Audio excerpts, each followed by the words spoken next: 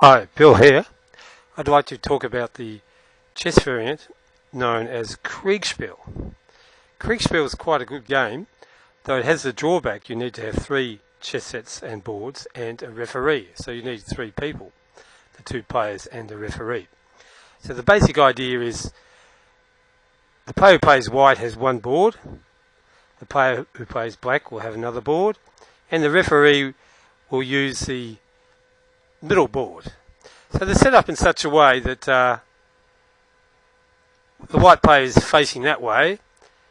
The the real board will be behind him, so he can't see the board, and the black player will be facing in the opposite direction. So neither player can see the other person's board or the, the board showing the real position. Okay, so the basic idea is all normal chess rules except you don't know exactly where your opponent's pieces are, well, at least most of the time, though you can get information in dribs and drabs from the referee. So the best way to explain is to show you a sample game. So let's see. Okay, so white makes e4 as his move. So the referee makes e4 on, on the middle board because the middle board always shows the real position. And he announces to the black player, white has made a legal move. Of course, black doesn't know what it is, but he can try and guess. So let's say black plays d5. So uh, that, in fact, is a legal move. So the referee makes d5 on the middle board and announces black has made a legal move. And of course, White doesn't know what the move is, but there's a special rule that um, you can ask to see if there's any pawn captures. So there were none possible on the first turn, but now it's conceivable there are possible uh, pawn captures. So, um, and you're allowed to try up to three pawn captures per move. So th- the answer is yes. So the referee says try. So there's only two possible conceivable pawn captures after two moves. So White tries, e takes f5. Hope that may be legal Black had moved his f pawn up on the first move. And the referee says illegal. So, and of course, if you try a move and it's legal, you've got to play it. So White takes the, um, so White knows there's a pawn there. So White takes it, and that's a legal move, so it must be played. So, so White's actually worked out that this pawn has gone off the board and it's good to um, I'll just simply that square. It's good to always um, keep track of how many captures have been made. You um, you don't know exactly what's been captured, but you do know how many pieces are captured because when there's a capture, the referee announces white has made a capture. So the referee makes the real move on the real position. So white knows the real position because he's worked out the um, black's first move and um, and what the referee does is remove this pawn from the board and say white has made a capture. So of course, black knows there is something white on the d5 square, and he does know it's a pawn capture because he heard um, he heard white try for a pawn capture. So he knows there's a pawn there, and he knows it's either the c pawn or the e pawn. So he might have got the real position. So he, he knows the pawn will be safe to capture, so he decides to take it. So the referee makes the uh, capture on the real board, and, and he tells um, White that uh, Black has made a capture. So White realizes um, in two moves, the only way he could have taken it was with the Queen. So um, White decides to uh, move the knight out. That's legal. So the referee announces white has made legal move, so he attacks the uh, queen. So black, if black is an experienced Kriegspiel player, who'll know the queen may be under attack, so it's a good idea to uh, move the queen away to safety somewhere. So he decides to uh, move it back one square. So um, so the referee makes the real move on the um, on the real board and says black has made a legal move. Now it's white's turn. So um, so white thinks, oh, maybe I could take the queen next move, or, or may, maybe the queen's not there. He doesn't know, so he elects to bring out another knight. Now, now what? Um, so the referee makes the move on the real board and says white has made a legal move. Now black decides to check, and uh, so what happens is the referee announced check, and he and he tells white white is on check on the rank. So when you're in check, the referee announces is it check on the rank, the file, on the short diagonal or the long diagonal, or a check by a knight. So a check by a pawn would be on one of the two diagonals. A check by a bishop or queen would be on one of the two diagonals. And every square on the board is either a short or long diagonal intersecting it, except for the corner squares, where there's only a long diagonal. So, um, what uh, now? What's in a bit of a dilemma here because um, he knows he's in check by a rank.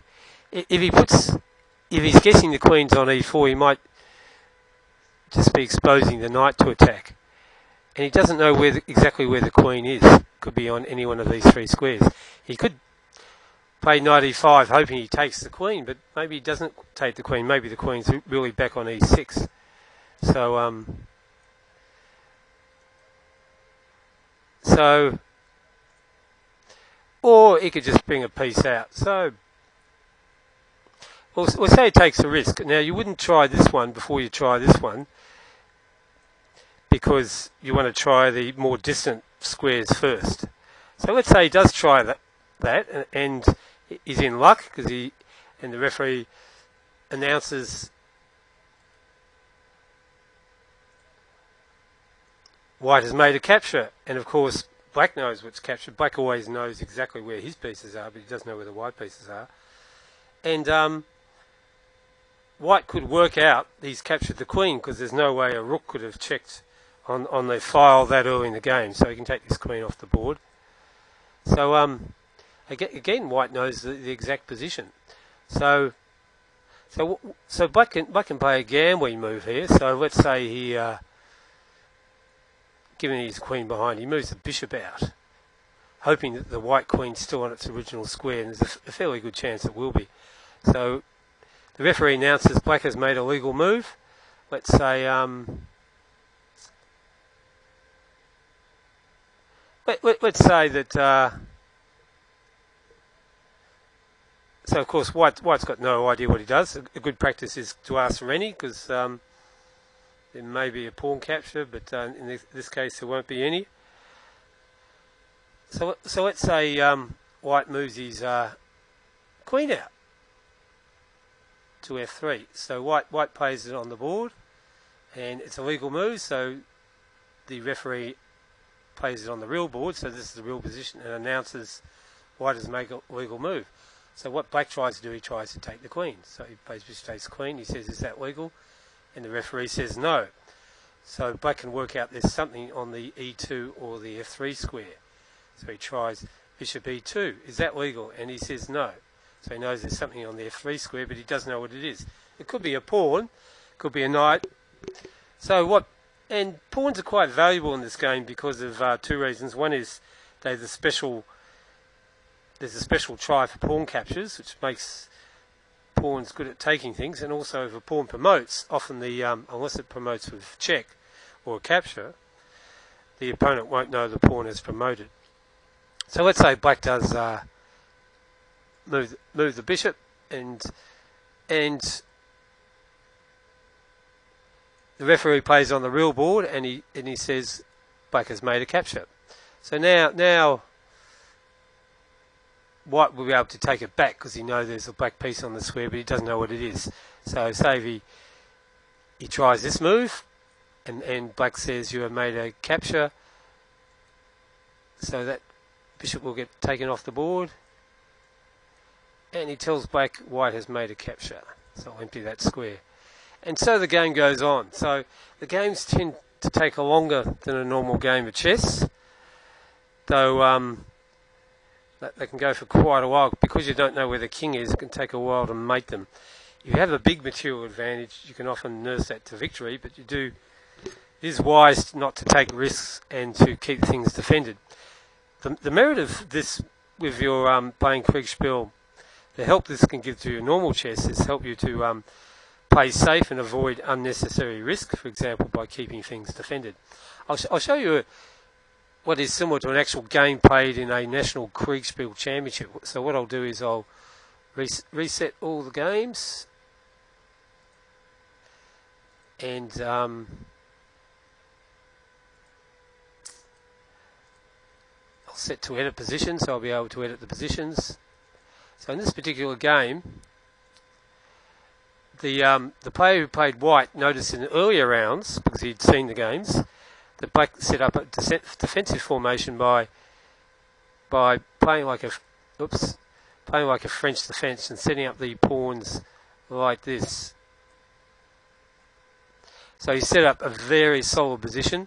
There's no chance of being checkmated by Scholar's mate because the bishop will be blocked on the diagonal. The bishop on e7 stopped stopped some kind of stray bishop going in, and attempting to take the queen early on, and the um,